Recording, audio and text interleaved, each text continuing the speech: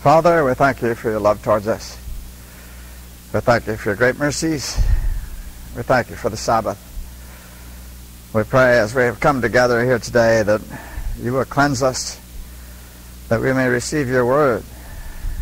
We thank you that you're dealing with each one of us as individuals, but you're also building a church.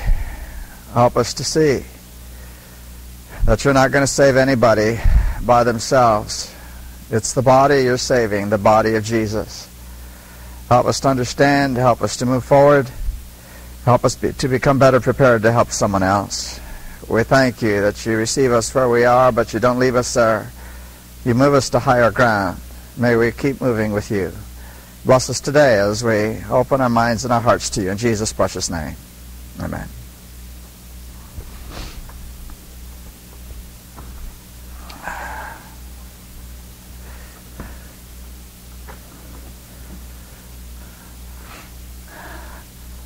I have already received one question. If you have questions or something you want to talk about, be sure to get them to me before we get involved here.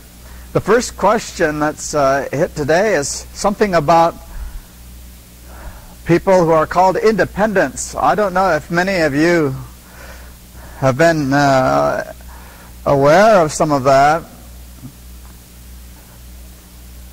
Maybe I should do a little bit of history because I have been involved in the history. I was there when all of this stuff started. I was invited to the initial meetings, so I know what's happening. And I'm talking about even meetings before any of it surfaced. all right, so let me go back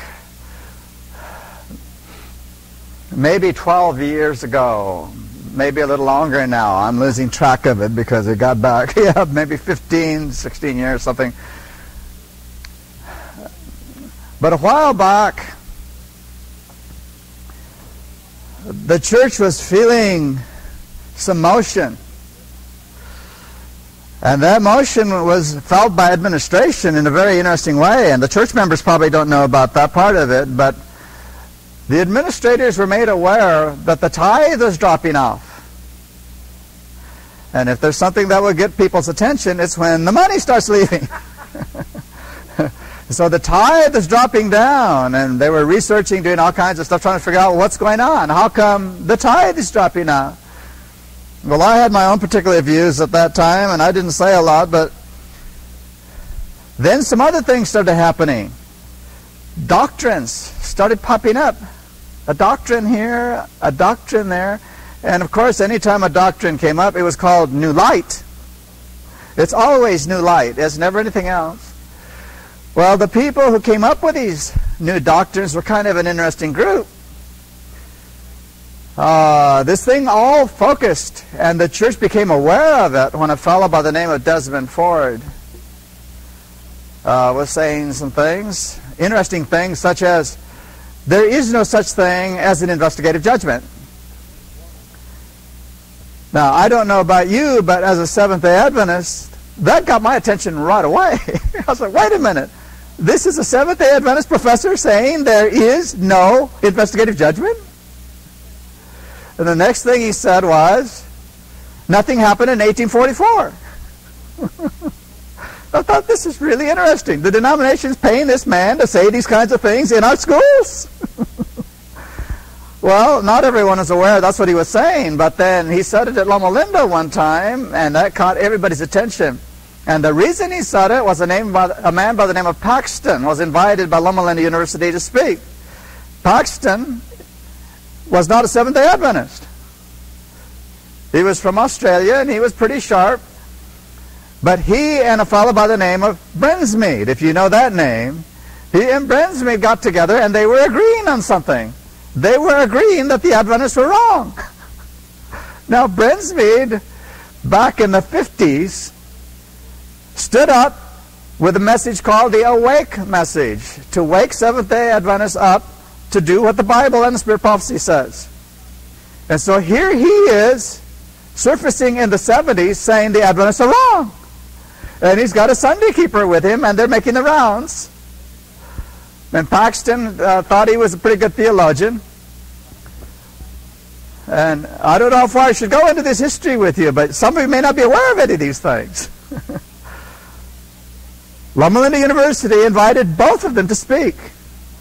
And so they went to Loma Linda University and they spoke and they said their piece. And Desmond Ford stood up and agreed with them. And that was the undoing of Desmond Ford because all of a sudden everybody knew what he was saying. now, when all of this happened, the church administration uh, knew it was going on, but they figured they could contain it, they could be, work with it. I mean, we believe in freedom of conscience, don't we, as a people? the administration does not squish people because they disagree about something, okay? And that's a good thing. But for some reason, this all got out of hand, and it appears that several people throughout the denomination began saying things that were no longer Seventh day Adventist. And because this was happening within the framework of the organization, there was a reaction. And the only reason I told you this much was to tell you about the reaction. A grassroots movement began from, from the lay people. And they didn't like what they were hearing at these levels. And so they started asking, what's going on? As they should have. but then a very interesting thing happened. And this is where you're going to put on your thinking cap. All of a sudden, individuals started standing up saying, we have the truth. And then they started traveling, having meetings in the various churches pulling the people, telling them what was wrong with this movement and what Adventists were supposed to be saying. And one by one, individuals started standing up to do that. The interesting thing is that if you go back into the history, you will discover that most of them were ex-ministers. They were not lay people as lay people alone. They were ex-ministers. And if you go into the background, you'll find out that each one of these had a problem.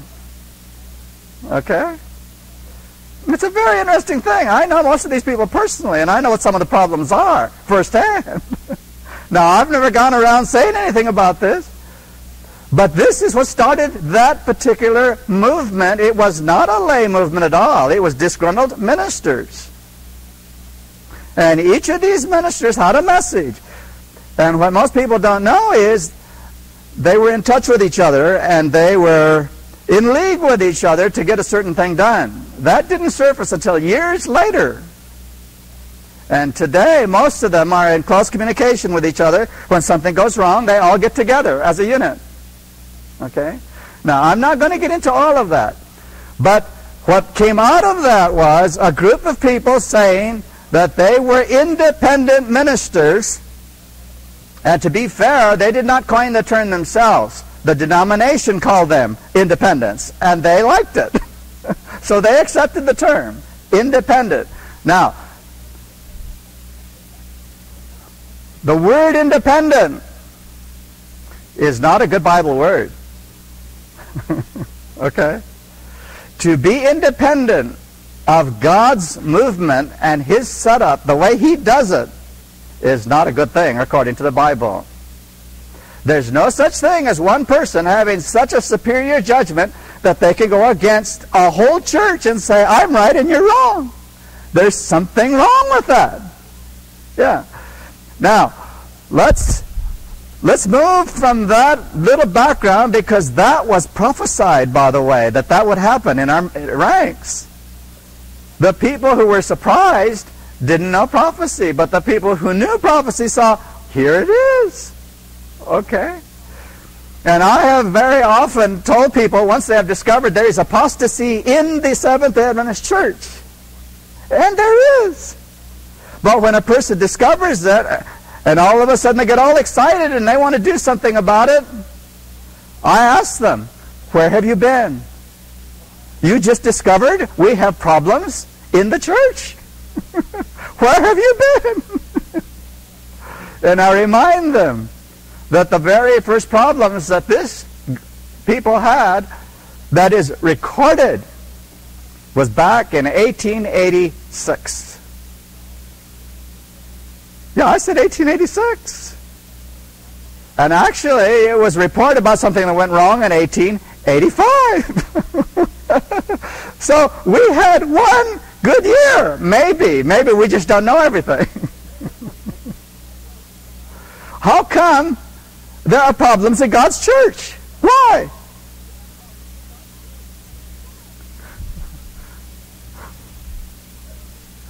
Because you're in it and I'm in it. That's why. yeah, just think about that for a second. this is not a perfect church because we are in it. if you want to see a perfect church, you better get out. And I have told that to some of these reformers because they thought they were going to make the perfect church, and I told them, you have a problem. You're in it. and I can say that with a straight face because I know it's the truth. The person that does not recognize there is corruption in them does not know Jesus Christ. Because the closer you come to Jesus, the more corrupt you become in your own eyes. That is a law of the Spirit. Okay? So, how are we supposed to relate to these kinds of things when people are throwing magazines at us saying the church is wrong, the church is that, the church is that? When they're throwing videos at us telling us all the spirit of prophecy quotes that say the church can't do this, the church can't do that. What are we supposed to do? What's our attitude supposed to be about that? Well, I want to remind you of a man that God tested in just that way. Yeah. His name was Moses. yeah. The children of Israel had blown it. That's a million and a half people out there. Yes. And Moses was trying to figure out what comes next. How do you deal with these people? And God came to him and said, Well, I'll tell you what, I understand your problem. Why don't you step aside? I'll take care of it. He says, I'm going to kill all of them and start over with you. You're the good one. And the rest of them, forget it. I want you to separate from them. Do you get that? God told him, be a separationist. Why did God tell him that? Did he, does God believe in being a separationist? I don't think so. What was he doing with Moses? He wanted to see what he was made of. He knew, but he wanted Moses to understand it. And what did Moses say? he said, Oh Lord, I'll go with them too. We're all together. And God said, Come on, step aside. I'm going to take care of this. And I said, No, I can't do it. He said, And you won't do it either, will you, Lord? he said, I'm telling you, you, you don't believe in that. I know you don't. you know Moses is right. God does not believe in it. I think we need to understand it. God does not believe in separation. What does God believe in? the unity of his people because it's the only way he can prove who he is. A person either receives the Spirit of Jesus or they have a different spirit. And the Spirit of Jesus in each one of his children does the same thing. It makes them a family. So Moses passed the test. And God says, all right, We'll work this out. You know, there was another occasion, and we've talked about this a little bit. Another occasion, remember a million and a half people. And God told those people, go over there and take the land. I've given it to you. And we know they sent spies. The spies came back, and all of them but two people said, we can't do this. They're too big over there. that land is terrible. It'll swallow us up. We'll all die. And two men said, Well, God said He gave it to you. the people picked up rocks to stone these two men. But God stepped in again. And He says, Well, you people don't believe you can go in. You will not accept it when I tell you it's yours, so you're not going in. That's what you believe. Now, I hope that we can understand what that story is really all about. We are going to get what we believe. If we believe in sin, we're never going to be able to handle it. Never. But if we believe what God says about it, then we get his solution. Okay? We get what we believe. Now, when uh, God talked to them some more, he said, Well, you were over there for 40 days spying out the land, coming up with the wrong thing. We're going to give you each day and turn it into a year. And that's how long we hold you in a holding pattern in the desert, wandering around. Do you know that you can get across that desert in a Jeep today in about six hours? they were there wandering around in that place for 40 years.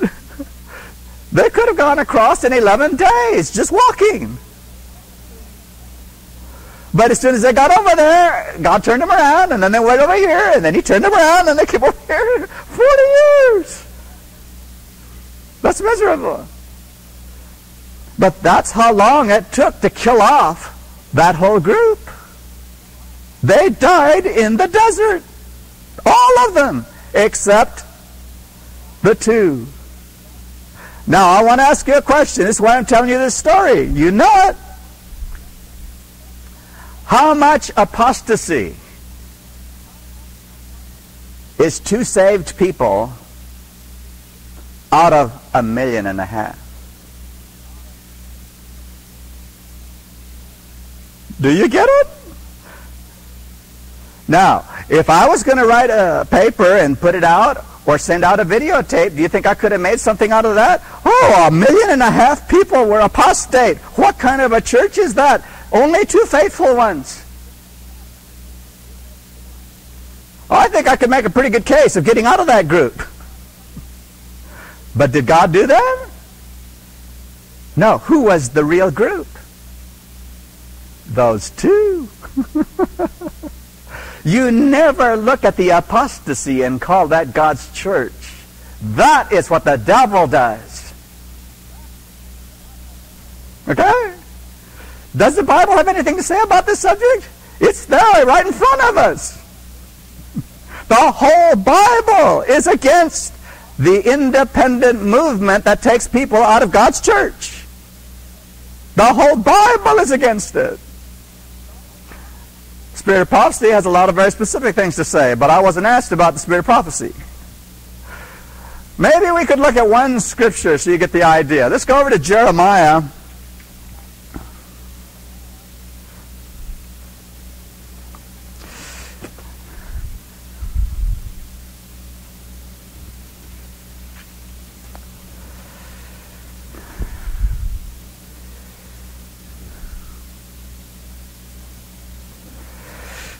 me see if I can find the scripture here. Jeremiah, the fourth chapter. I just want you to look at one verse with me. Fourth chapter, verse 22.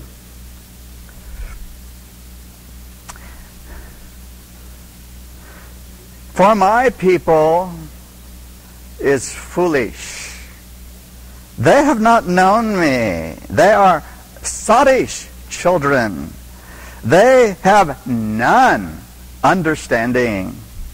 They are wise to do evil, but to do good.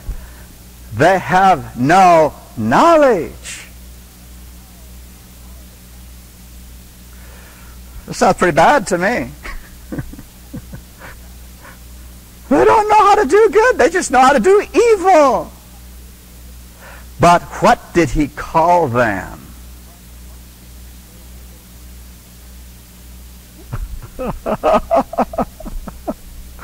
didn't say, my used to be people. he didn't say, those apostate children, forget it. I don't want them anymore. That is not the way God talks. He says, Return to me, you backsliding children, that I may heal you. But He does it as a people. He always holds His people together. You know, we're in Revelation 18. In verse 4, He says, Come out of her. Okay? Come out of come out of Babylon. Come out of the confusion. Come out of but he's talking to his people, his children in all these churches. They belong to God. And he says, Come. But does he say, just get out and then he tells them be an individual? No. They're to come into the third angel's message. They now become the third angel. They come out of Babylon to tell the people about Jesus in the sanctuary, to talk about the judgment, to tell them about the Sabbath, to tell them about the state of the dead the way it really is. You come out of Babylon to learn the truth and give it to other people. So God is never a separationist. He's always bringing his people t- together. Let me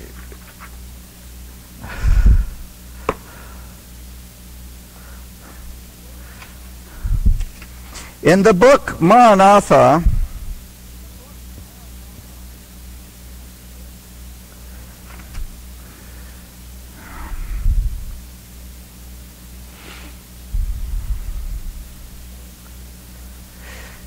On page 269, it says, when, uh, well, I better go back up a little bit. It says, the decree will go forth. And this is first in this country, remember, as we studied. And then in the Europe, and then in the third world countries, a decree will go forth. It says a decree will go forth that they must disregard the Sabbath of the fourth commandment and honor the first day or lose their lives. Now, is this serious isn't it? This is real. The whole world is going to say to Sabbath keepers, you either keep Sunday holy or we're going to kill you. That's where it's going to go. Then it says, if they will not yield and trample under their feet the Sabbath of the Lord and honor and institution of, of the papacy, Satan's host and wicked men will surround them and exult over them because they will, will seem to, there will seem to be no way of escape for them. When this time of trouble comes, every case is pro, uh, decided. There's no longer probation, no longer mercy for the impenitent. The seal of the living God is upon his people. Now, it says it's over, and God's put his seal upon his people. Who are his people? Is it somebody that says, I will not be part of the church? Is it somebody that says, I'm out here by myself? I will believe what I want to believe, and I don't care what the Bible or anybody else says. The seal that goes upon God's people is upon those who are loyal to Him and do it His way, the way He says. Nobody else. Seal upon His people. This small remnant. What's that sound like? This small remnant unable to defend themselves in the deadly conflict with the powers of earth that are marshaled by the dragon host, make God their defense. The decree has been passed by the highest earthly authority that they shall worship the beast and receive his mark under pain of persecution and death. I saw the saints suffering great mental anguish. They seemed to be surrounded by the wicked inhabitants of the earth. Every appearance was against them. Some began to fear that God had at last left them to perish by the hand of the wicked. Remnant, little group, one body of people, and they all believed the same way. And they are not saying, I don't want anything to do with you. I'm leaving. All right, I'll ask you one last thing on this subject. Maybe you have some other questions in this area. Jesus gave some very, very clear information on this subject. He talked about wheat and he talked about chaff. Now, anybody who's dealt with this, when you put it in a basket, you have the wheat and the chaff in there. What do they do with the basket? yeah. And what's happening when they do that? Yeah, the wind is blowing it, isn't it? What's it blowing away? Not the wheat. Where does the wheat go? so, God's going to do some separating. He's going to do it. And guess what's blown away? The ones that separate from God's church, the wheat, are the chaff. When a person chooses to leave, they have just made themselves the chaff. The wheat stays in the basket.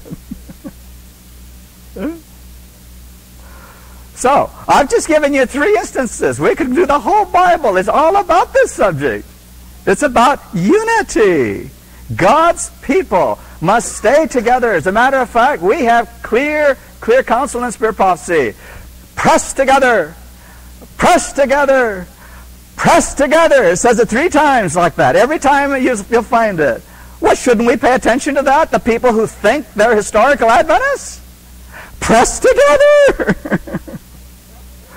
we are not all going to agree about everything. It's not going to happen. We don't all think the same. But all of us here will know the seventh day is the Sabbath of God. There's going to be no confusion on that. We will all know that Jesus is in, is in heaven as the high priest. There's no confusion about that. We will all know that when a person is dead, they're really dead. no confusion. That's where we're supposed to stay together. And that's what we're supposed to tell people. They can find that in the Bible, any Bible, even the Jehovah's Witness Bible. If you show them, it's there. But when you want to start talking about little details here and there that's not really part of our message, be careful. God is not going to help you convince people. and that's what creates the division. We don't need it. Let's stay together in those areas that we know, we all agree. That's Seventh day Adventism. That's where God wants us to be. And that's what we're to tell people. They don't know these things. So, I'm glad for the question because sometimes these things don't come up unless you say something. okay? But the Bible is against the independent spirit. The first independent spirit was in heaven. And you know what he's called? He's got lots of names. But the one that sticks with me is over there in Revelation 12.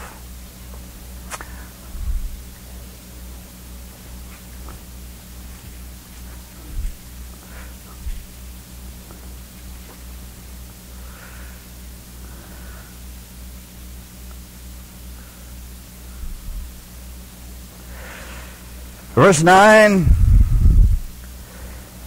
The great dragon was cast out, that old serpent called the devil and Satan, which deceives the whole world.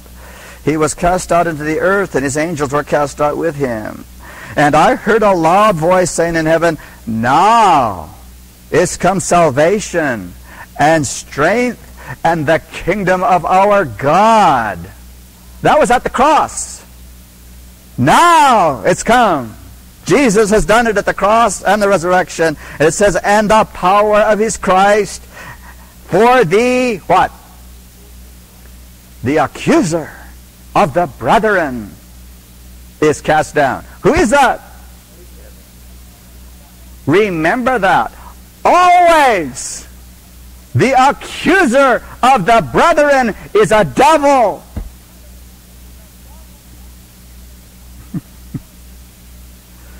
I hope you put away the papers that come to your house when you recognize what you have coming to your house. Have you invited the devil to your house? I hope you know what to do with some of those videos, too. I can make this stick. It's biblical. It's spirit prophecy. Notice what it says here. The accuser of the brethren is cast down, which accused them before our God day and night, and they overcame him by the blood of the Lamb and by the word of their testimony. They talk like Christians and they won't put garbage in front of them. They loved not their lives unto the death. You know, when I first read that years and years ago, I thought that meant they were willing to be martyrs. But that's not what the scripture is saying. It's how they became Christians. They loved not their lives unto the death. They died. They allowed Jesus to resurrect them. It's not something they're going to do, it's something they've done.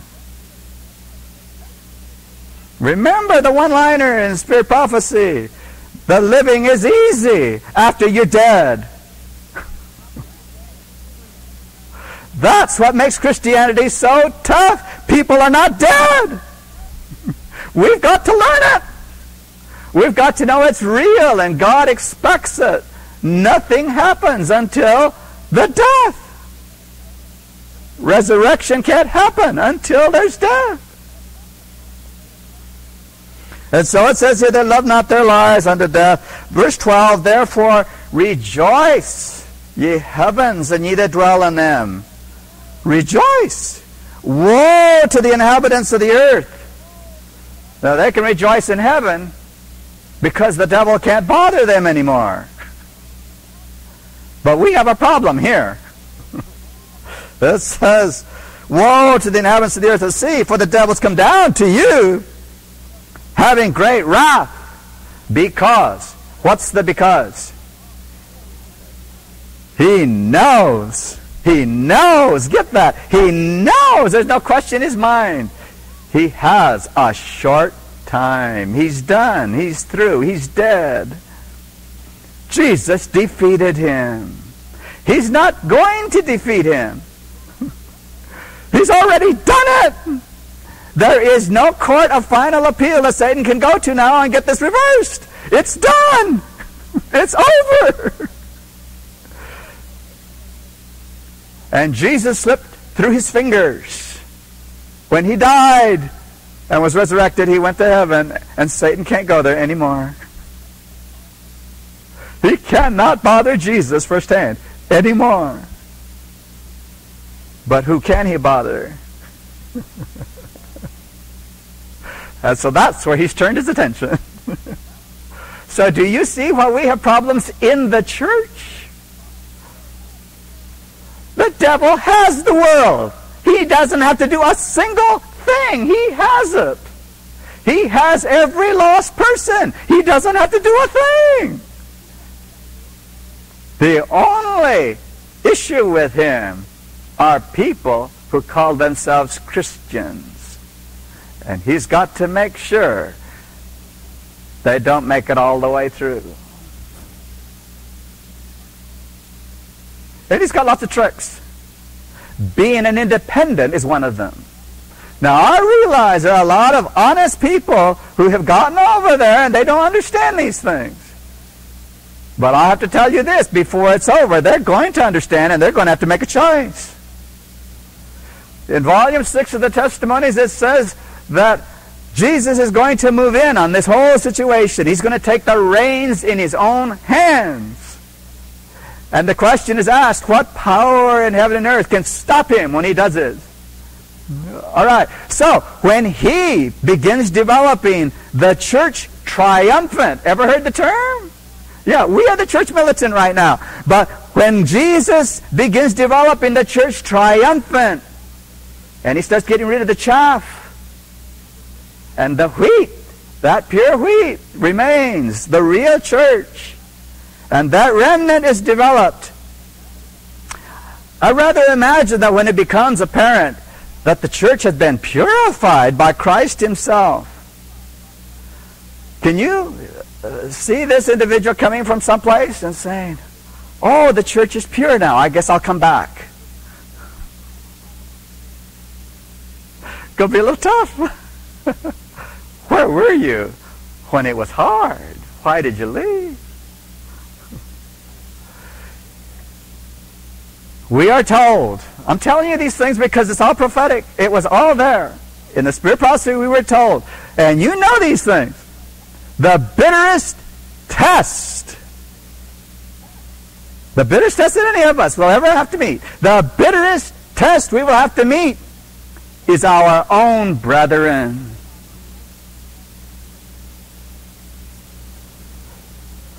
Well, I have told this to the leaders of these various groups too. Guess who failed the test? When a person leaves, they failed the test. We're supposed to stick in there and meet the test. okay, I'll give you one last one and I'll get off this for now. Unless you have a question or comment. A real Christian a real Christian, connected to Jesus Christ, has the Spirit, has the command of all the heavenly gifts, because that's what a Christian has. That person in a church full of apostasy, what will that one person do? It will leaven that church towards righteousness.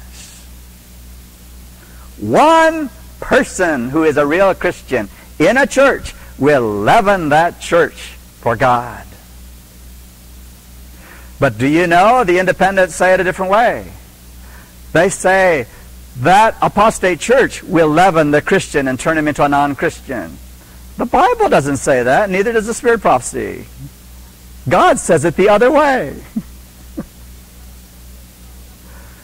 So we need to get our perspectives right. Am I going to do it according to God's ways? According to my understanding of the character of Jesus?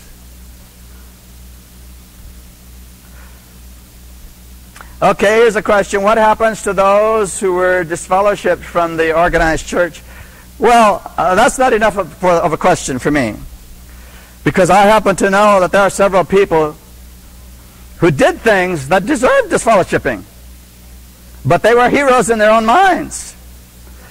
When a person makes themselves obnoxious and gets themselves kicked out, who made it happen? yeah. So there's not enough here. Now, I'll say this. There is a possibility of a true Christian being asked to leave a fellowship. Yes, that's happened in the past. If that happens, that Christian is to leave. They have been invited to leave. They're not to fight. They're not to say, hey, you can't kick me out. Jesus didn't do that. If they tell you to leave, you leave. But you better be sure it was for Jesus Christ and not for yourself. Because Peter, we're told that, that we are going to suffer. He says, but what kind of glory do you get if you suffer because all the weird things you did? Where do they go? Another church. And I have news for you. If a person cannot find a church anywhere to go to where the people recognize them as a Christian, there's something wrong with them.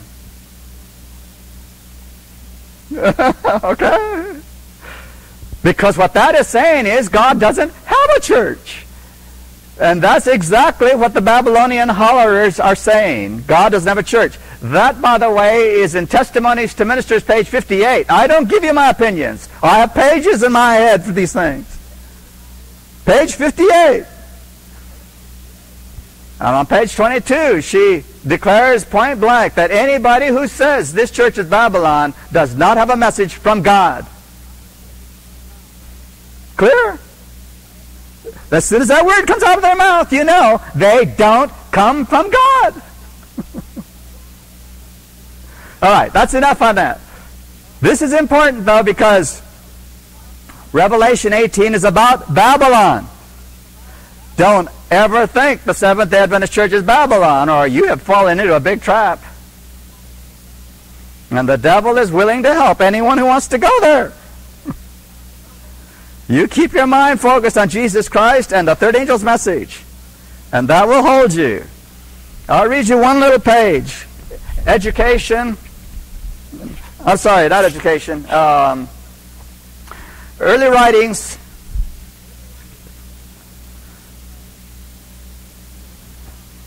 Page 63 and 64. There's a little quote that you might want to hold on to.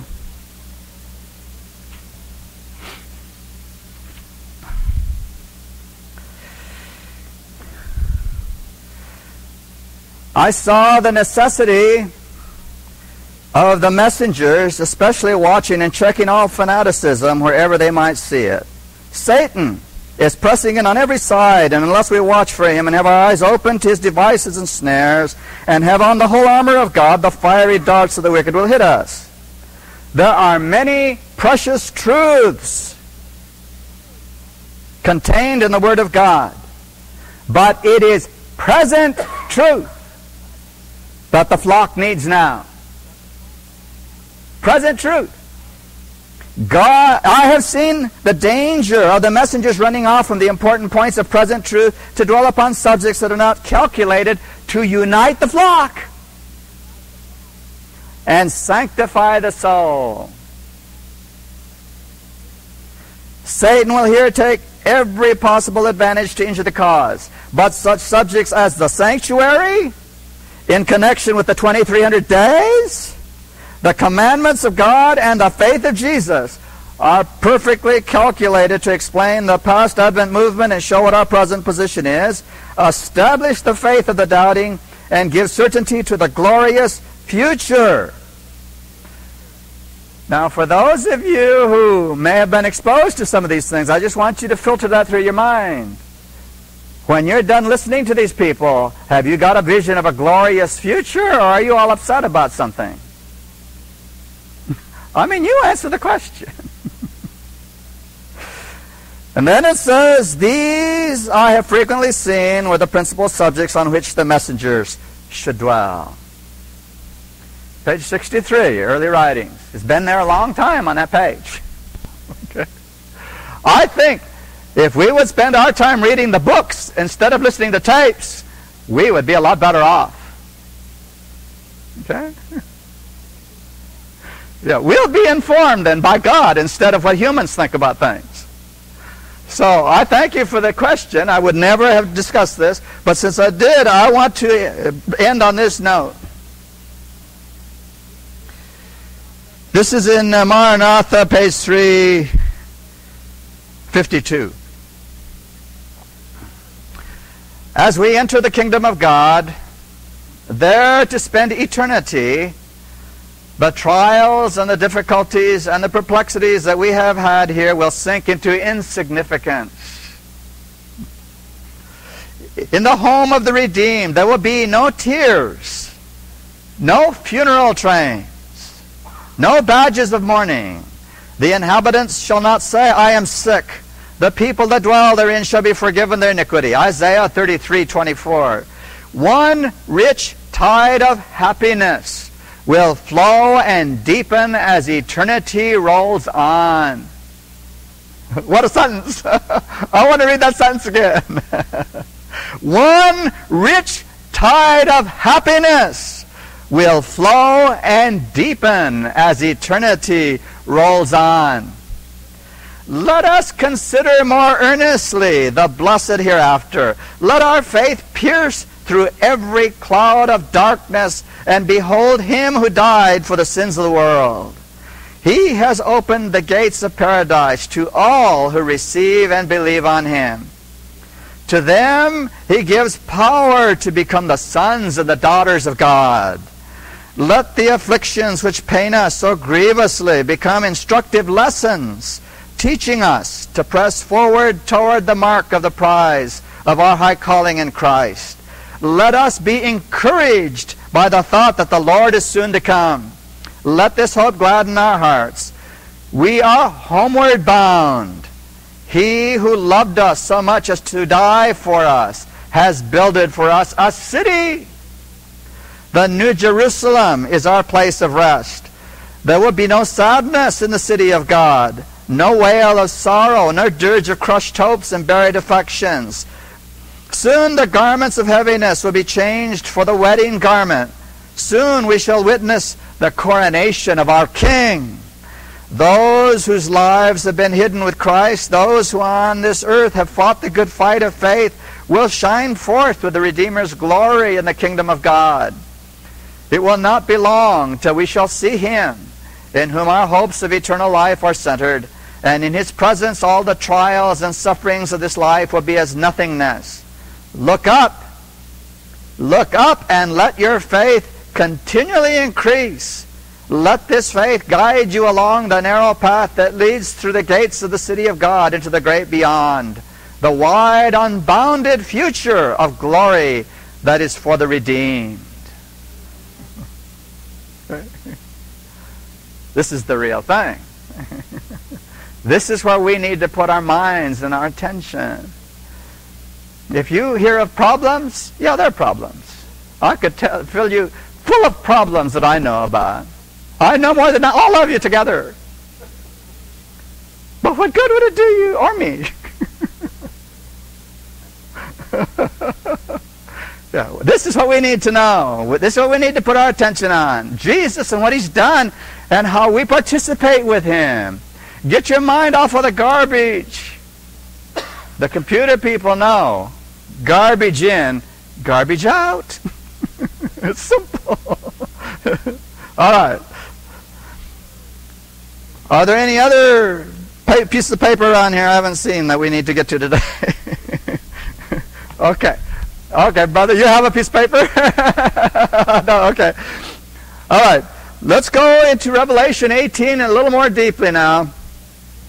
We were through verse 4, but uh, we could still do a little bit more there. Revelation 18, verse 5. For her sins have reached unto heaven, and God hath remembered her iniquities. Reward her even as she rewarded you, and double unto her, double according to her works, in the cup which she hath filled, fill to her double. Who is the her here? Okay, it's dealing with Babylon. That is primarily a symbol of the Catholic Church. But at this time in history, it involves the apostate Protestant churches also. So we're talking about all of apostate Christianity. And there are even elements of the world bound in here, as we'll see later. Um, but God's people are not involved in this. In uh, volume 6 of the Testimonies, page 401, the people of God will draw together. Now, God has said it. Is anything going to change that? It's impossible. God has spoken. He has told us the future. God's people will draw together.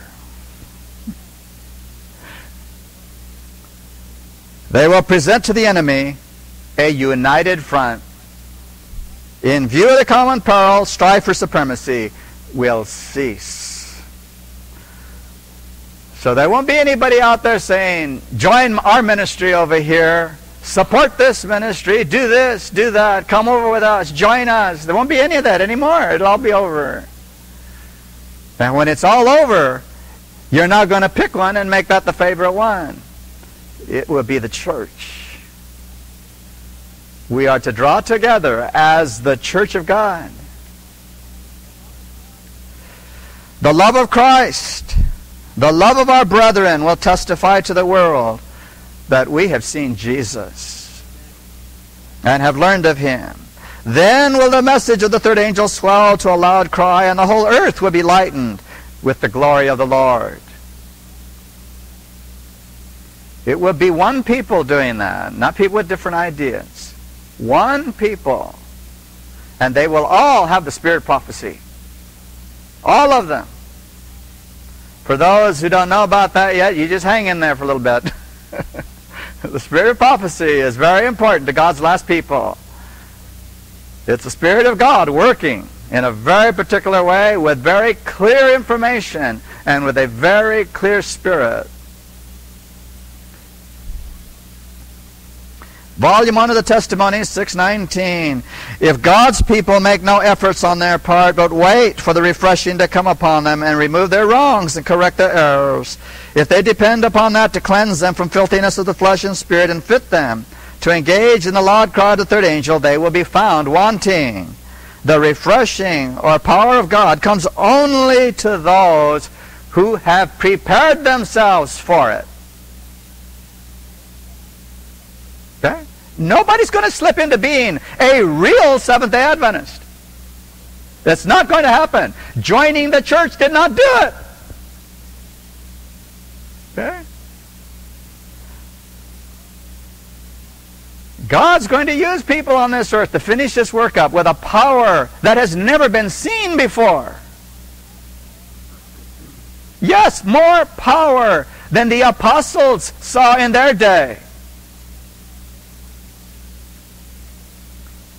But it's going to be through a people who understand what the issues are and have surrendered themselves to be used of God the way He says, when He says, how He says.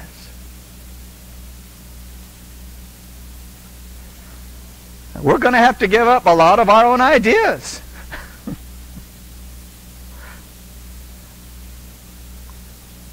Have you ever heard of anybody judging somebody in this church?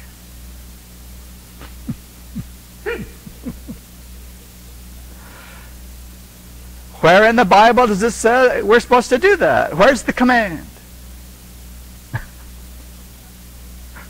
you know, Luther had a very interesting idea. People would attack him all the time about his doctrines. And he'd say, Show me a command. so we are to do the commands of God. Show me a command. and of course, the people he was talking to usually didn't have one. That's why he could say that. But he understood that when God commands us to do something, we have nothing to think about. He has spoken. That's it.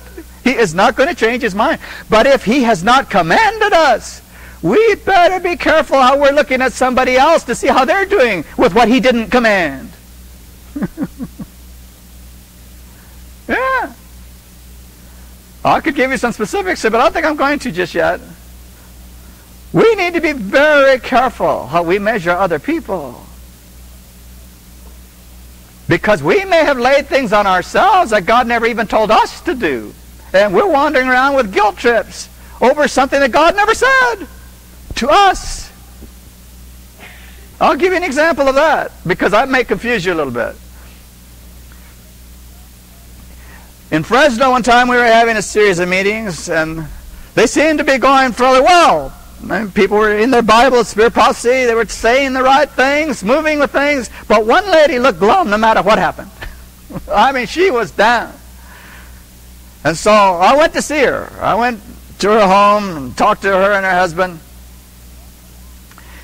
And she was glum in her home. and I asked her, What? What's happening? What, what is this? She says, What? I said, Well, you're obviously not happy. What's going on? She says, I can't do it. I said, You can't do what? The spirit of prophecy.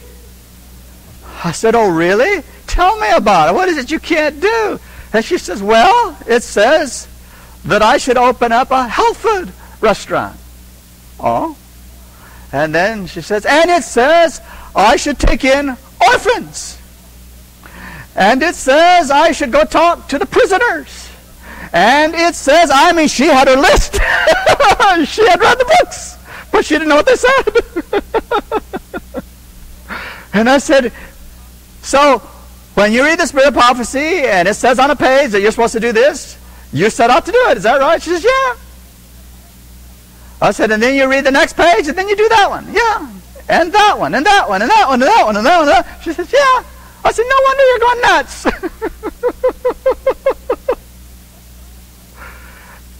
Has God come to you personally? Did he tap you on the shoulder and did you hear his voice telling you that you should have orphans in your house this week? She said, No. She said, But it says it in the book. Yeah, it says it in the book. So I reminded her about Moses. You know, Moses is an interesting person. he did a lot of things. We can pick on him because he was really there. you know, when God came to Moses, he was probably one of the brightest individuals on the planet at the time. He was trained, he was educated, he was cultured, he was refined, he had it all. He was strong, he was a military man, he was a genius. And God came to him and told him, You're going to be the leader of my people. And he was equipped. You're going to be the leader of my people. I have chosen you. And so Moses must have thought about it because the next thing we see, he's out there. And one of his people got in trouble with an Egyptian. And Moses took the thing into his hands, and what did he do with the Egyptian? He just flat killed him. He's going to protect his people. of course, it didn't take him very long to figure out he was done himself. He was through because now they know who he was and he had to leave town. so there's the leader of God's people. He's gone. He neutralized himself. And so God came to him and he says, Moses, what are you doing? He said, well, you told me I was going to be the leader of the people.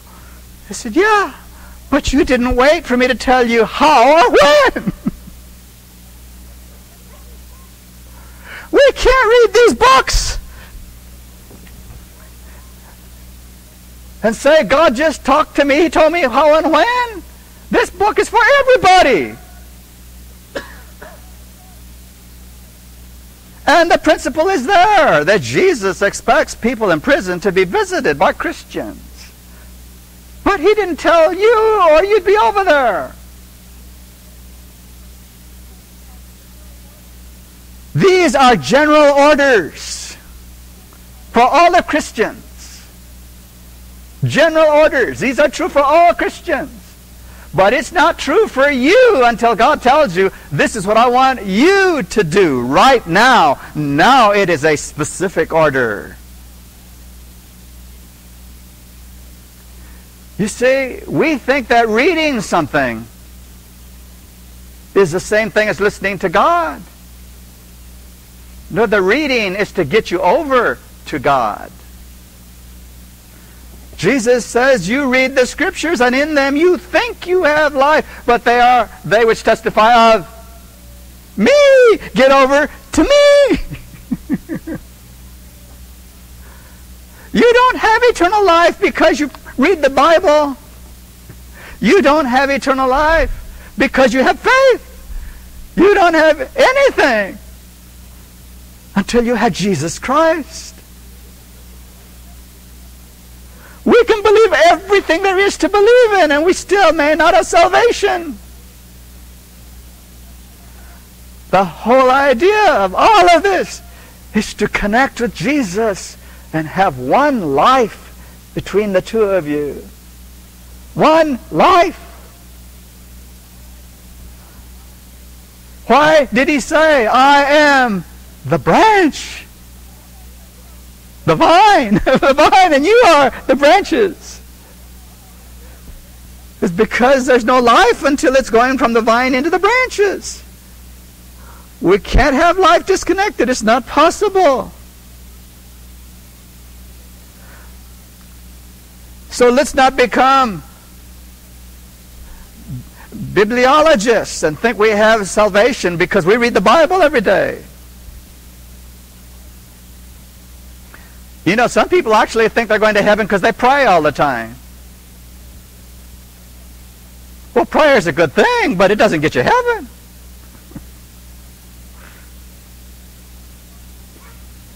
Remember, we spent a whole year talking about justification by faith through the merits of Jesus alone. There is no other salvation. It's only through Jesus. There's no other way. There's nothing you can do about it. We keep forgetting that somehow. And we want to do something to get good enough so that God will accept us. It's, that's never going to happen.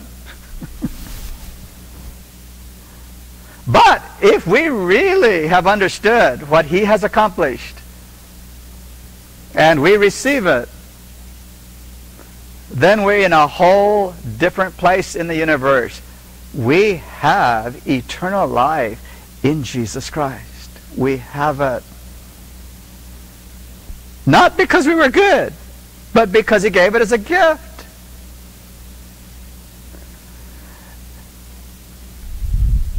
The people of God in Revelation 18 will all know this and all have this experience and can all talk about it. They can all say, My hope is in Christ alone, nothing else. To thy cross alone I cling. That's the way one song ends.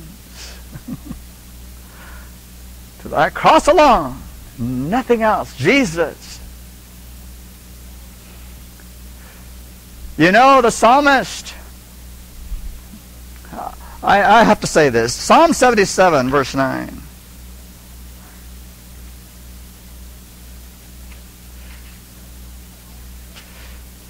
You know, we are all together for a reason here. okay? It's not because you need to be entertained or I need to talk to somebody. That's not the reason.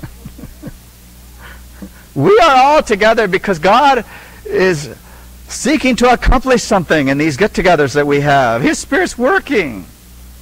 His Spirit is dealing with each one of us in ways that nobody else knows in here. it's, it's a very unique personal thing that's going on here. In Psalm 77, verse 9, notice what he says here. Hath God forgotten to be gracious? now think about that question for a second.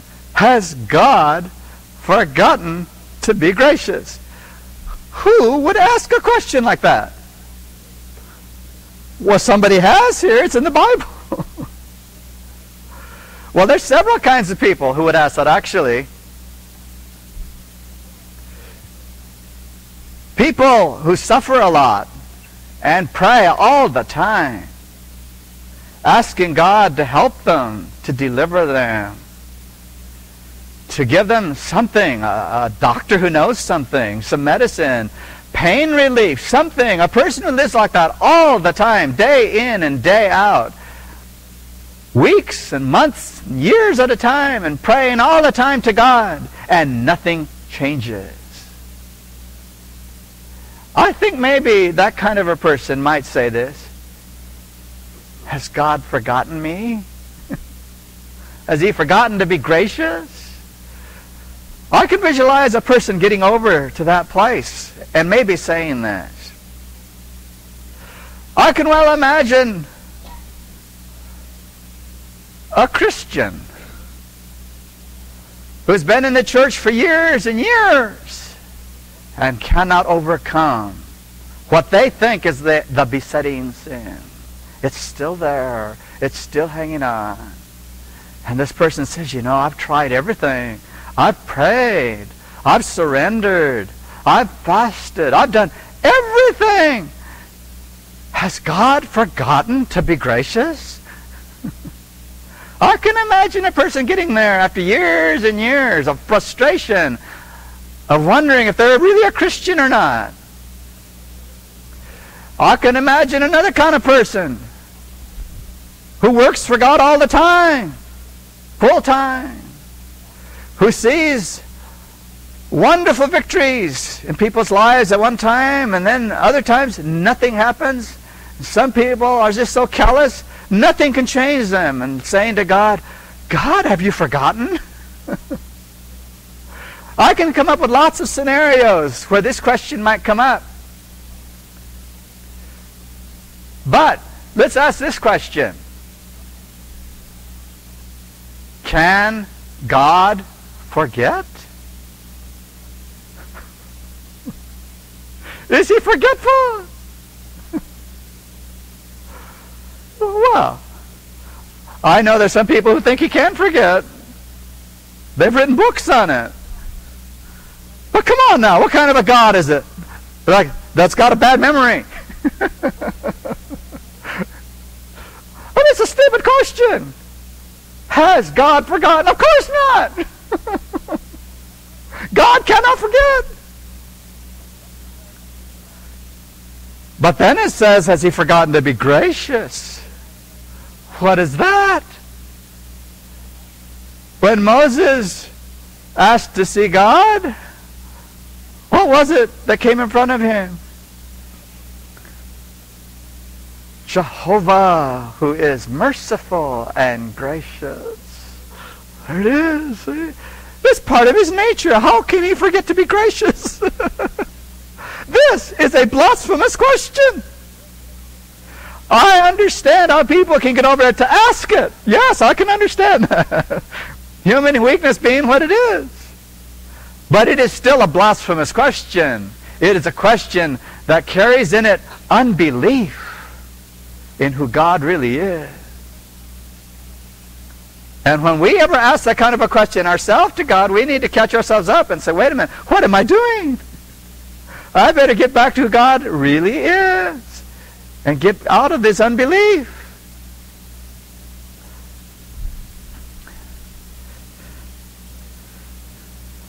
The remnant church is being built right now. Adventism has been around for a while, that's true. But the remnant is being built right now. Everybody in this room has had the privilege of God coming to them. Everyone in this room with the invitation to become one. No one is in this room by accident. God made the appointment and He's working in your life. He is drawing you your way so that you understand, so that you can respond. But He is, has definitely called you to something. And that something includes being part of the remnant that's going to finish the work on this planet. Now, there are 10 million Adventists out there wandering around. But 10 million Adventists are not going to do this. It's a remnant. Now, don't look around to see how many bad guys there are. You just figure out how to be one of the remnant yourself. That's the only one you need to be concerned about. but it is between you and God, and I. I'm telling you this on the authority of the Word. He has called you to be one. What you do about it is up to you. But he has called you. The ones who refuse are over there in Revelation 18. Let's talk a little bit more. We'll read some more statements here.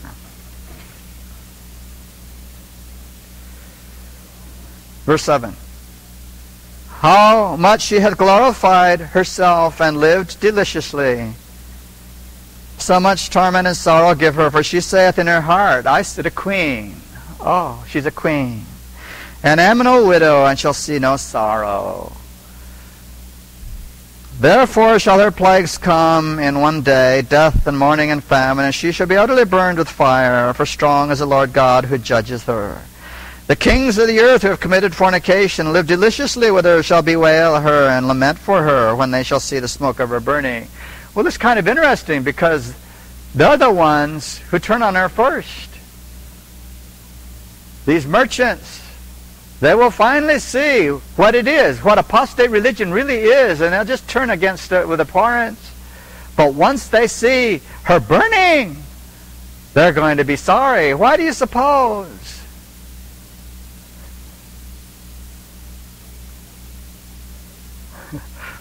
Yeah. But they read something in that. They're next. Oh, yeah. They realize we helped her. We're next.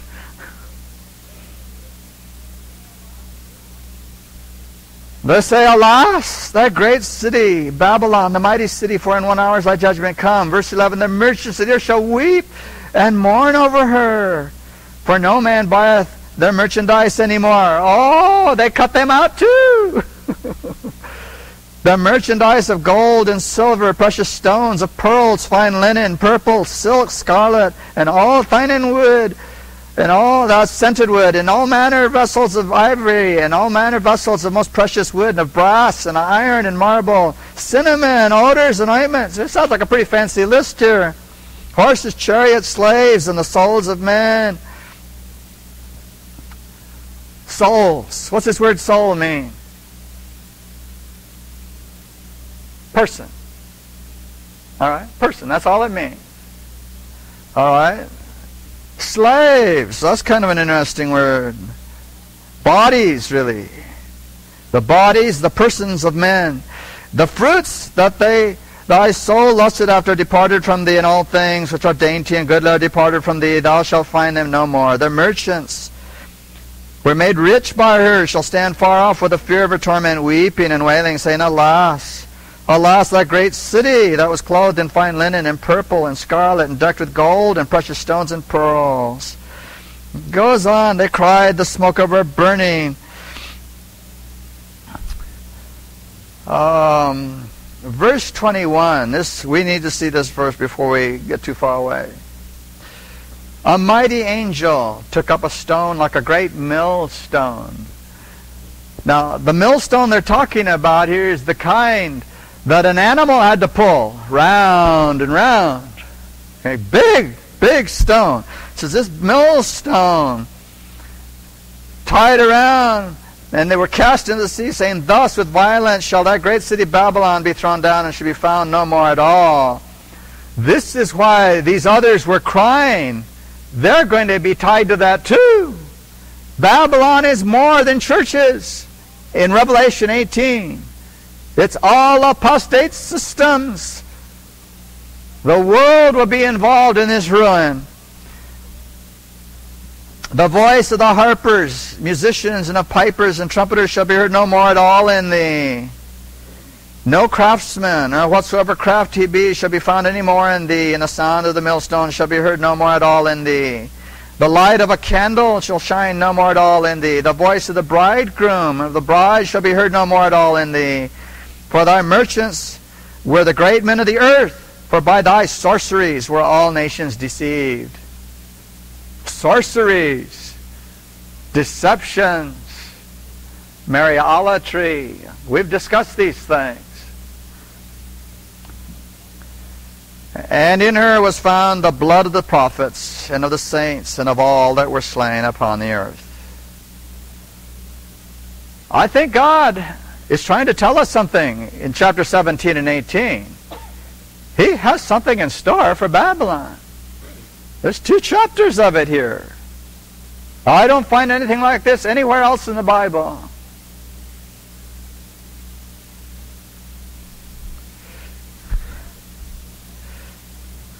Early writings, page 277. The message of the fall of Babylon as given by the second angel, is repeated with the additional mention of the corruptions which have been entering the churches since 1844. The work of this angel comes in at the right time to join in the last great work of the third angel's message as it swells to a loud cry. It's not going to be an easy thing to do to make the corruption of the churches part of the message. We would rather talk about the love of Jesus we would rather talk about the nice parts of the gospel. But the Seventh day Adventist people have been raised up to give a complete message. And the corruption that is in the churches is part of it. Patriarchs and Prophets 124. The existing confusion of conflicting creeds and sects is fitly represented by the term Babylon, which prophecy applies to the world loving churches of the last days. Great Controversy 603. A terrible condition of the religious world is here described. With every rejection of truth, the minds of the people will become darker. Rejection of what? What is the truth? Present truth. That's what the truth is. We read in early writings, page 63. Present truth. What is present truth? If I went around telling people the world is going to be destroyed by a flood, is that present truth? was it one time? Yeah, when Noah said it, it was true. That's not true anymore. Could Martin Luther have given the third angel's message? Wasn't time yet. He couldn't give it because it wasn't time. We have a message to give, and it is time. We must give it because it is the present truth. What is that present truth? Jesus is in the judgment hour. He is the high priest. He's closing it all up. Now, I don't know if that strikes you. Some of you may have been Adventists for too long. I don't know. But if you tell people there's a judgment going on, do you know what a Sunday keeper will think? Which one? yeah. Because they're not quite sure what you're talking about. There's a white throne judgment, but that's not until later, and it's not really a judgment. It's a weird idea. It's a strange idea. I'm not going to get into it. The point is this if we are in the judgment hour now, then how did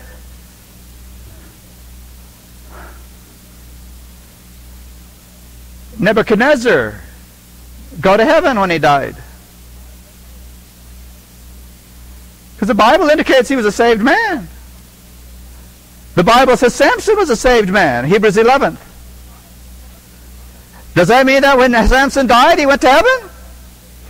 We know that it's not true, but Sunday keepers think that's where he went when he died. And so when you tell them that judgment is on, in process now, well, if Samson is just now being judged, how did he get into heaven way back then? We've got to think these things through. The truth only goes one direction. Error does all kinds of weird things.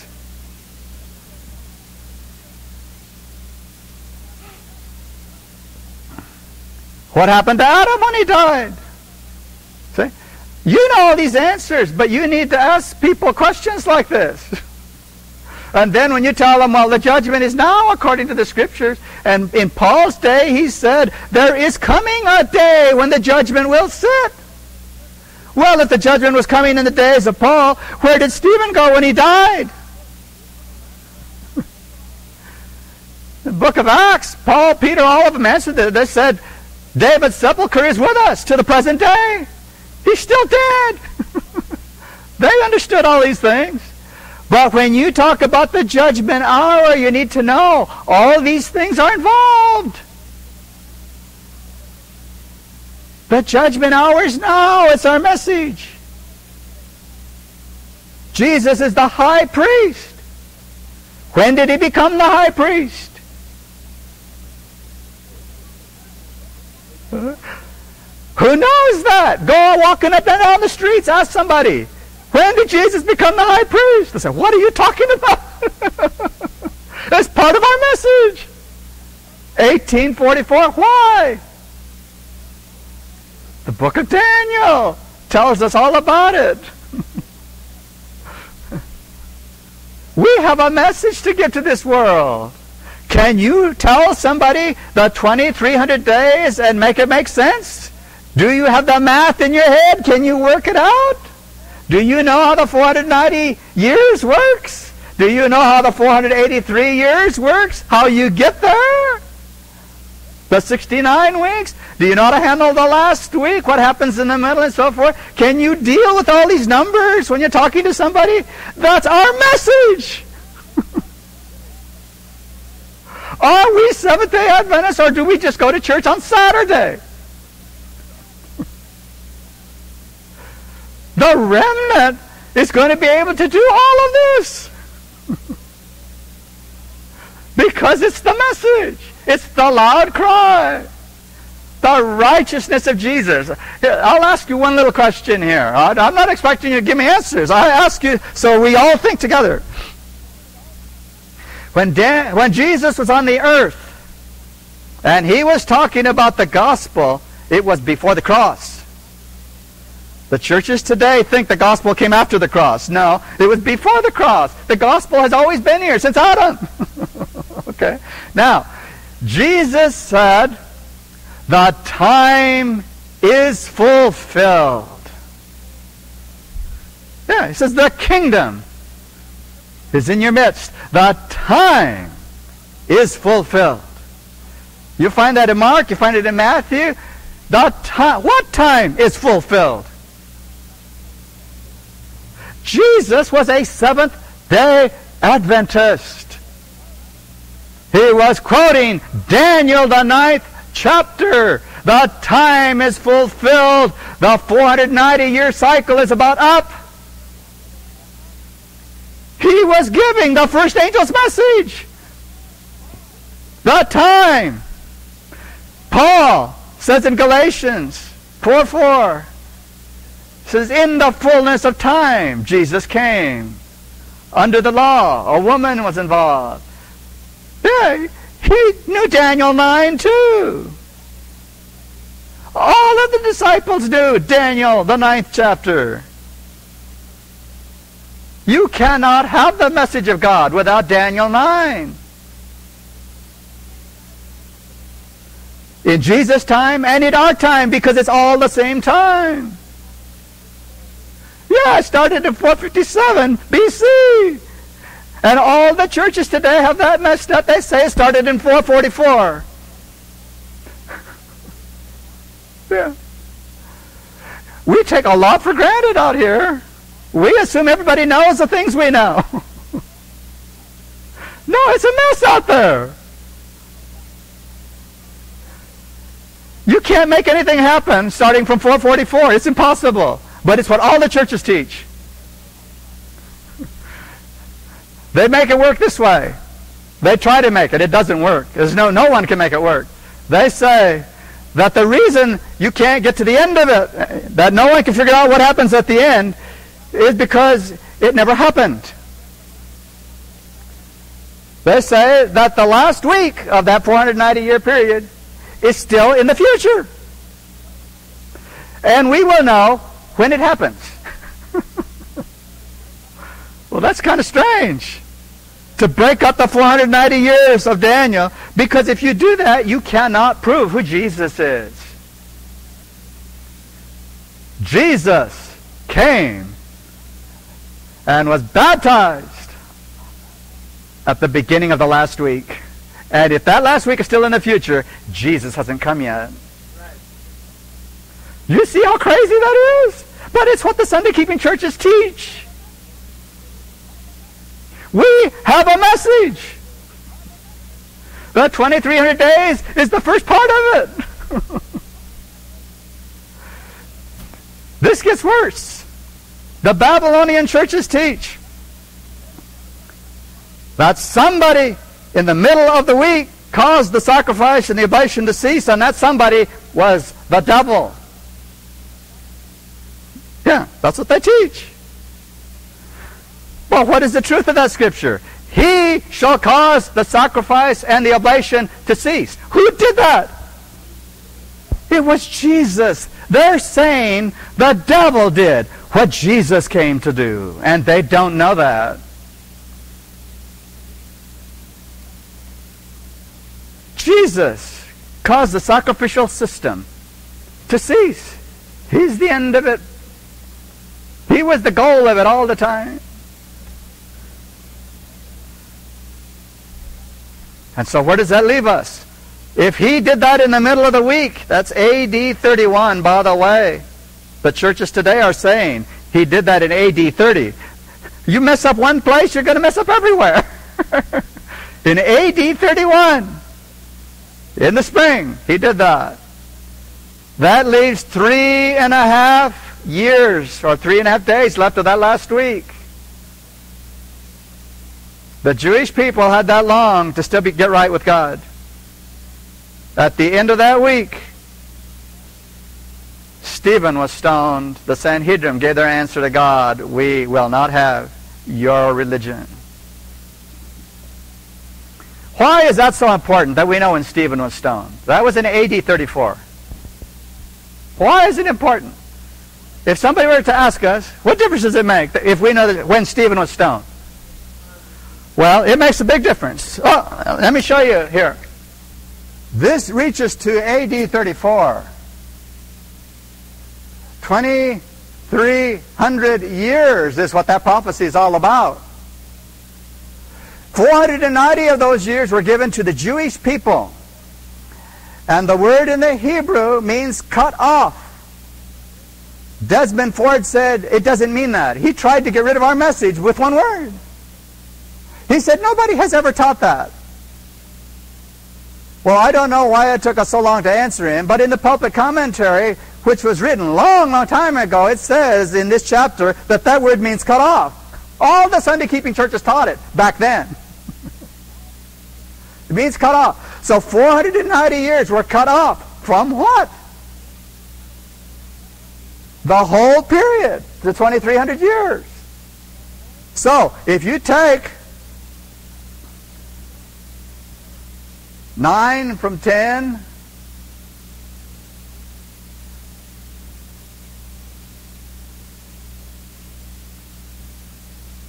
Eight? Okay.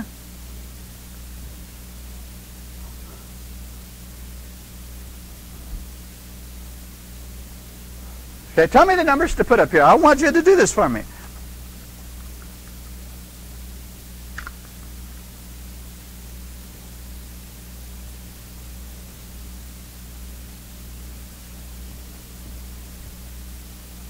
Okay, so we have the right numbers. Is that right? There are 1,810 years left after you do the, the part for the Jews. After that part is gone, you still have 1,810 years left. Where does it take us? Well, it's an interesting thing that if you add 1,810 years to 34 AD, you come up to the year 1844. That's when Daniel 9 ended. And remember, we're talking about the very prophecy that Daniel said that time was fulfilled. He was crucified in the middle of this last week. So that very time that he talked about, and which proves that he is the Messiah, reaches to 1844. So, when we prove Jesus is the Messiah based on Daniel 9, we prove 1844. What happened in 1844? Well, Daniel 9 tells us. Then the sanctuary will be cleansed. And the word there really means vindicated. The sanctuary will be vindicated.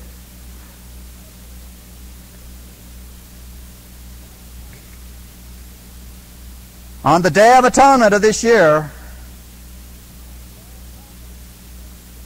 October 22nd, Jesus became the high priest in the most holy place to vindicate God. He began the investigative judgment. We have something to tell the world. And it is not that Saturday is the day we should be going to church. That's part of it. But we have something to say to this world that it does not know. And it's very important. We are in the judgment hour.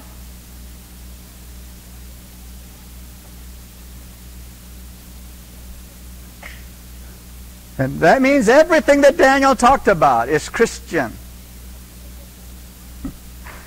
It's the one thing that I keep hearing from people. No, we only want the gospel, New Testament. You can't have the gospel if you don't have what Jesus did in the Old Testament. It's not possible.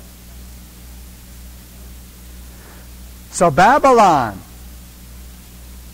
is the corruption of all the churches who refuse to hear this.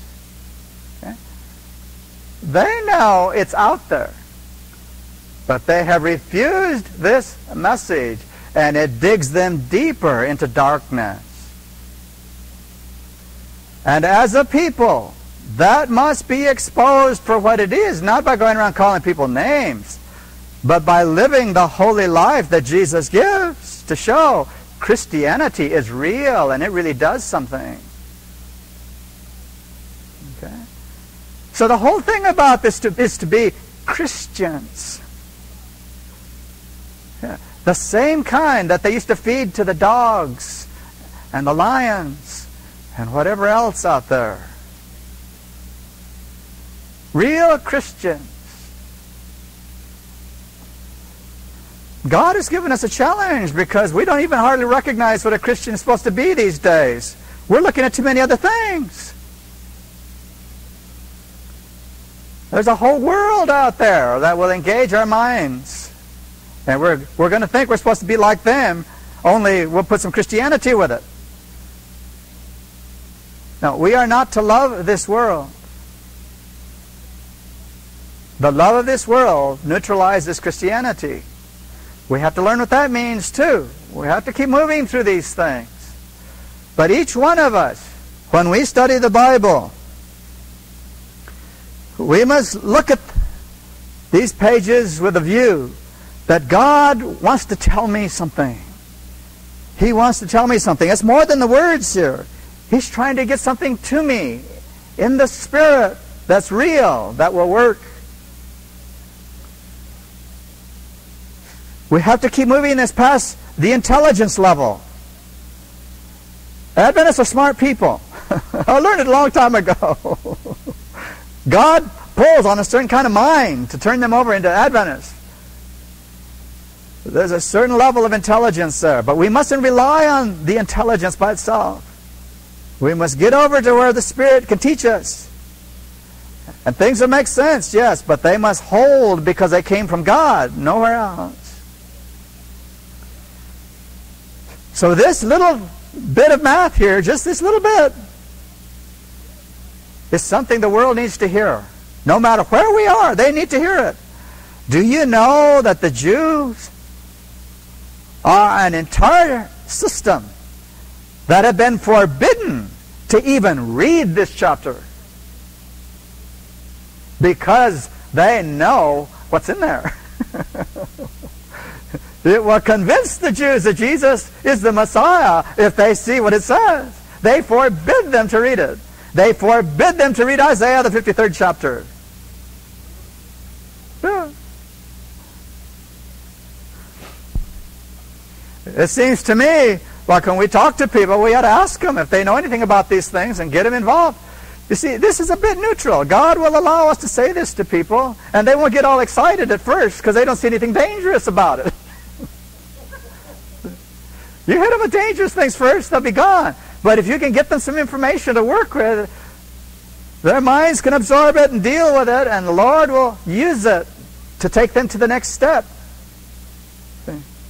It's the same with the sanctuary. If you can understand the sanctuary and draw people a little diagram and get them involved in it, they see it, they can see the plan of salvation.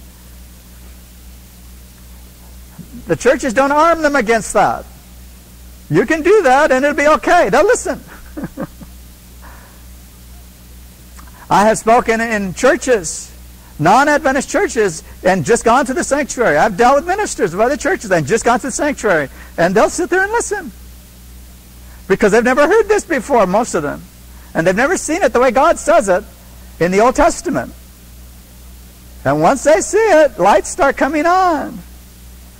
And we don't have to make people understand everything all at once. That's not our job. But we need to plant seeds. but we need to know what we're planting. It's the third angel's message. If we do that, we will see more clearly why Revelation 18 is the way it is. We're not going to spend any more time in Revelation 18 after today. But I would like to give you a couple of more quotes here. Volume 5, Testimonies, page 208. With unerring accuracy, the Infinite One still keeps an account with all nations. While His mercy is tendered with calls to repentance, this account will remain open. But when the figures reach a certain amount which God has fixed, the ministry of His wrath commences, the account is closed, divine patience ceases.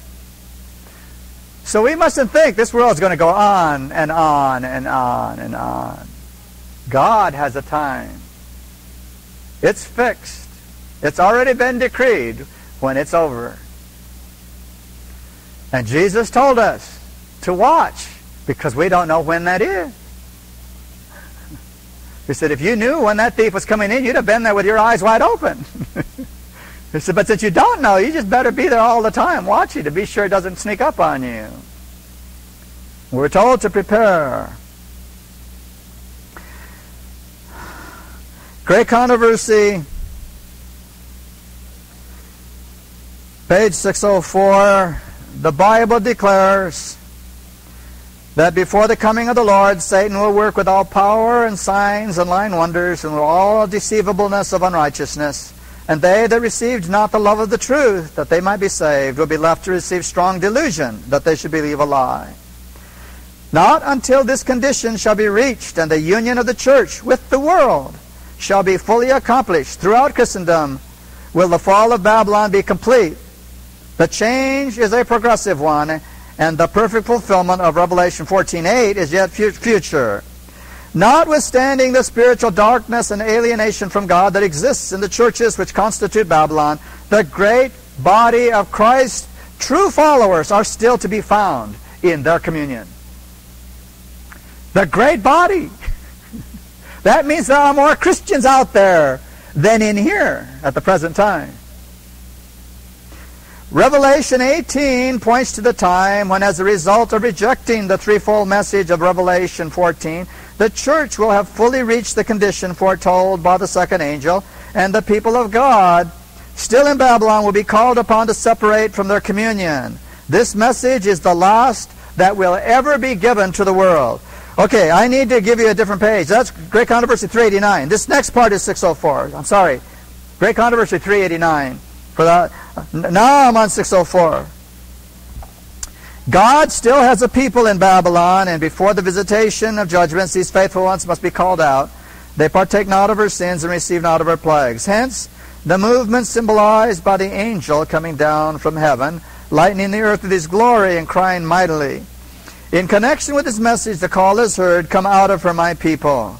These announcements, uniting with the third angel's message, constitute the final warning to be given to the inhabitants of the earth. So, as we have been going through the Bible, uh, Revelation 1 and following through, are you starting to get a picture of the entire book of Revelation? Chapter 1 was the prologue. Chapters 2 and 3 go together. They are the seven churches. Okay? You just need to see a general picture. You, you can remember how it sits. Those are the first three chapters. Chapters 4 and 5 are a scene of God's throne. Okay? Chapter 6 starts talking about the seals, the seven seals. Chapter 7, chapter 8. Get these things, put them in your mind. It won't take very long. You will know what the book of Revelation is saying. So when you need it, you can call on it. It won't take you very long at all. Uh, you, you have chunks of it already. What's Revelation 11 about? When you hear that number, Revelation 11, immediately, French Revolution. Okay? That's all you need to remember. French Revolution. And the rest of the chapter begin fitting for you as you go back to it. But you should be able to do that with the chapters. Revelation 14, third angel's message. That's where it's found. Okay. Okay, you work on this. We're up to chapter 18, and already you can see it's all wrapping up the judgment of Babylon. So, what would you expect to be happening next in the book of Revelation? The coming of Jesus, the wrapping up of the history. And there's only two chapters left then. Three chapters, 20, 21, and 22. And that's describing how God is going to protect his church, how, how he's going to bring the bride down from heaven. And then the wrap up of this whole thing the earth made new, and how God is going to dwell with his people, all that. That's all that's left in the book of Revelation, is that section. So we've reached the end of Earth's history. Now, I'm saying this because I want to ask you a question. I just read it twice. What chance does the earth get after the angel of Revelation 18 has done his work?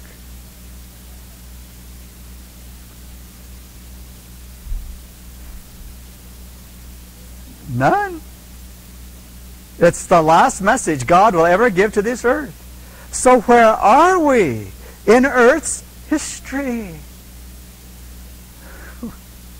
Do you see where we are? We are right there on the edge. God is never going to talk to this planet again. He has to do it through us.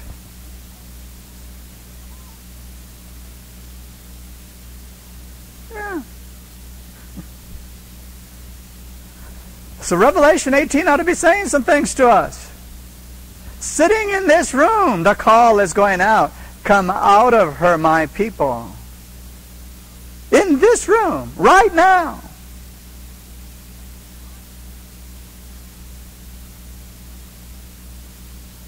I can see five people real quick that God has said it to come out of her, my people. You may not understand it all yet, but that's what He's doing to you. Revelation 18 is being fulfilled right now, right here. Not in its completeness yet. The loud cry must go to the world. And then God's going to say it for the last time to all of his people in all the churches. But he's going to say it through people who know what that means. They have an experience in it. They've come out.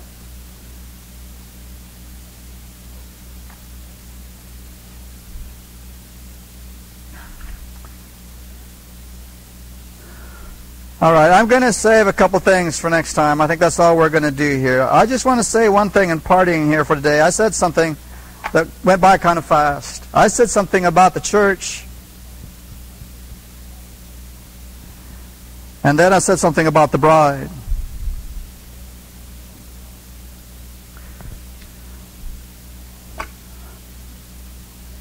All the Babylonian churches teach the church is the bride.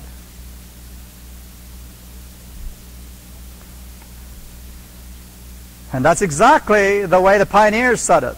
If you go back and you read the pioneers, they say the Babylonian churches teach that the church is the bride. Well, I'm afraid uh, a few of us who haven't gotten out of that yet. Some of us believe that too. When we get to Revelation 19, you please read this carefully for yourself. You see what it says about the bride. it says there that the bride is clothed with the righteousness of the saints. So the bride is not the saints, it's clothed with the righteousness of the saints. And when John said, I saw the bride, what did he see in Revelation 20 and 21? He saw the New Jerusalem coming down, adorned as a bride. so he says point blank what the bride is. It's not the church. It's New Jerusalem. That's a city. Isaiah understood this. He describes the city. He says the foundations, the gates, and it says that city has children. It's a mother. Who are the children? The Christians. The Christians cannot be the bride if they're the children. See, Isaiah knew about that. And on top of it, Paul tells us all of this. We're going to close with this. Let's go to Galatians and let's see what Paul says.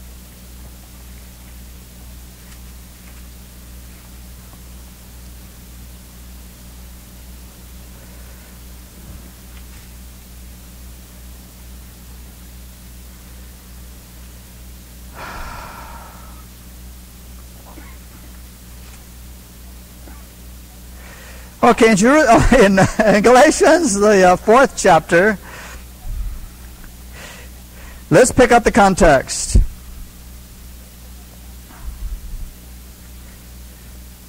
Verse uh, 22, we'll start there.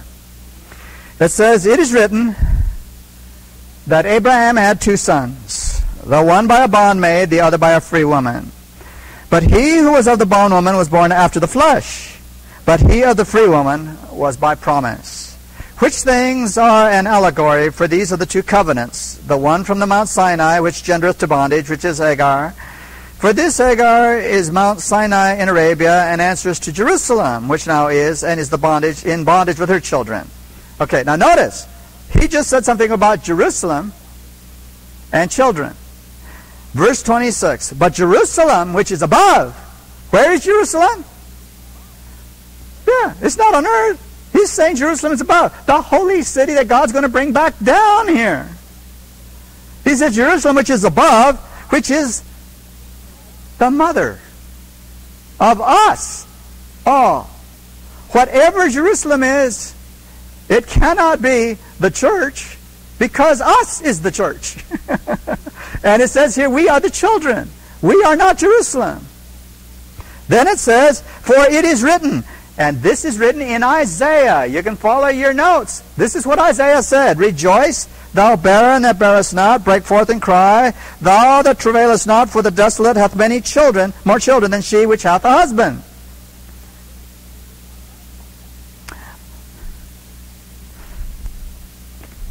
New Jerusalem is a mother. That mother has children. We are the children. We are the church. The church cannot be the bride. The bride is the mother. we'll go over this some more when we get to the verses in Revelation to show But to say the church is the bride is to misunderstand Jesus' high priestly ministry and what he's doing and what the investigative judgment is supposed to be doing. We have a message to this world, but we need to understand it first.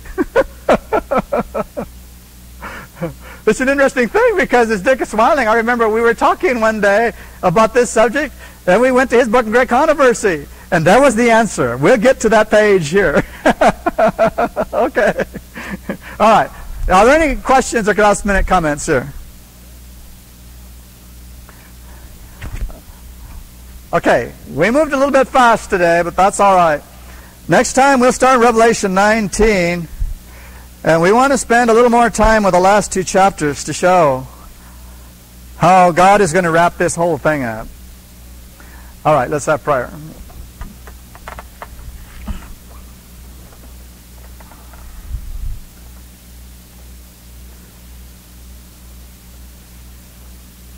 Father, we thank you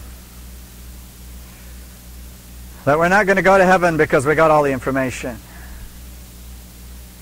You take us because we have an attitude. We have understood your call to us. And we've said yes to Jesus. He said, Come unto me, and I will give you rest. He never said another thing to us. He said, Come to me. We thank you that all of us can do that. That doesn't take any study. We just need to come to Him.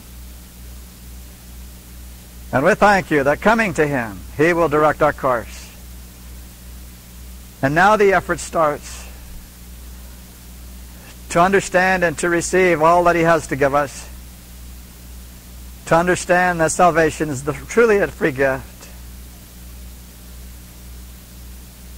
But character development is a gift with strings. We must put in the effort. We must give it everything we have. We must sense the value of what we're striving for. Help us, Lord, to not get confused and think that because we surrendered, all of a sudden everything is perfect now. We're never going to make mistakes. Help us not to be discouraged. Help us to know that is your children. When we do fall, we're supposed to get up right away and in faith say, Thank you, Lord, for forgiving me. Let's go some more. We thank you that you're always there, that you really are gracious, that you never fail, that you can't forget. Bless us, Lord, as we continue to learn, as we spend the time, as we listen to your voice through the various means you've made. And help us, Lord, to sense that there is a preparation we need to be making, a conscious one, a real effort. Help us to sense that only in that preparation will we be ready to help someone else. You already have them in mind. You know, maybe we're the only one that can do anything. Help us to know that as we learn to talk like Christians, you will give the power. We thank you once more for your Sabbath. And we pray that we may truly have an experience of rest in it. May we sense your total forgiveness and our completeness in Jesus. We thank you for hearing us in his holy name. Amen.